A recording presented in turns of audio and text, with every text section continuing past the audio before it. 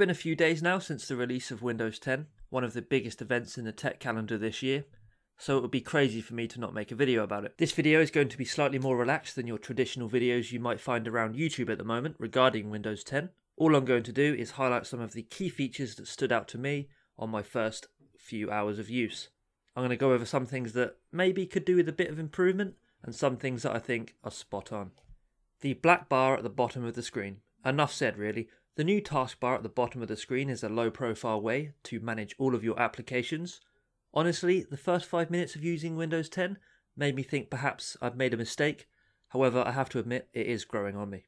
Something I hated about Windows 8 was the fact that when you press the Start button, and I use that term very loosely, you would automatically be booted into a full screen module and forced to use the Windows environment Microsoft's way.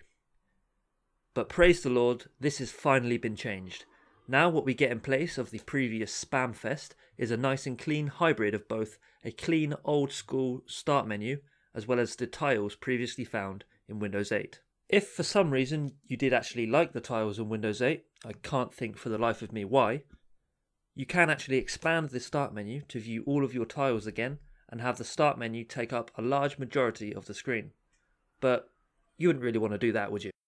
It also means you don't actually have to awkwardly move the mouse to the top right of the screen to bring out that silly side menu that sometimes worked, but most of the time didn't. Cortana is finally here too. This was the main reason that I went to all the trouble of downloading and installing the Windows Developer Preview. However, it wasn't until the very end releases that you were actually able to use and see Cortana for itself. What is 412 divided by 3? That makes approximately 137.33. What is the meaning of life? I've heard from a reliable source that the answer is 42, but still no word on what the question is. Remind me to put the bins out and walk the dog tomorrow at 3 o'clock.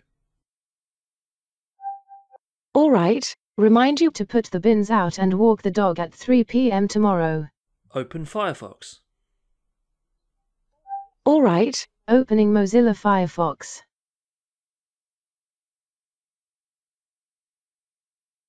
I feel that despite Cortana being quite powerful and very good at recognizing what I'm saying, it's still missing some core features you would expect. For example, it's crazy to me that despite Microsoft owning Skype, one of the biggest communication apps in the world, you cannot currently use Cortana to call a friend on Skype. The only way you can make a call is by using Windows Phone. Next up, we're going to talk about the Task View button at the bottom left of the screen. This is used if you're like me and you often have loads of apps open, but then you Alt Tab and find that one document or website you're looking for is buried under everything else. Microsoft attempts to make our life a little bit easier by introducing this button. When you click it, you will see all of the apps open in the background, which allows a much better way of managing them I only wish that you could actually move these round and add some form of customization as it would make it a lot easier to use. For example, I had problems on a dual screen setup. Using this task view, you could not actually move the task view windows around on a multi-screen setup. But obviously, this is just released software. I'm sure this is going to change and new features are going to be added and things like that. My unexpected favourite feature is without doubt the ability to create virtual desktops. That means if you ever have a similar setup to me in terms of video editing and web browsing, on one desktop, quote unquote, you could have everything you need to create a video, such as Sony Vegas to edit the video and Photoshop to create the thumbnail. And then, alternatively, you could have a whole new desktop experience set up for light web browsing, such as Facebook and YouTube. Now, I'm sure you all remember the Snap tool from Windows 8. Well, now Snap Assist has been added.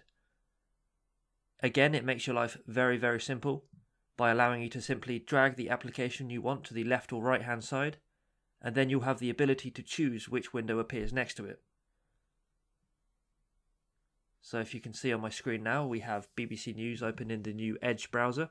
So if we drag this to the left, you'll see now we have a choice of opening Skype or Google Chrome or Camtasia with that, instead of having to manually have the tab open nearby to snap it to the right. And there we have it. That's pretty much all my favorites so far on Windows 10. Obviously, if anything major happens or I come across some revolutionary thing in Windows 10, I'll definitely make a video about it. However, if you're eager to try Windows 10, There is a link to both the 32-bit and 64-bit versions in the description below. However, as with every piece of software, it is usually wise to wait about a month before installing it. This way you give Microsoft or whoever develops it a chance to iron out all the bugs. Thanks very much for watching. I'll see you all in the next video.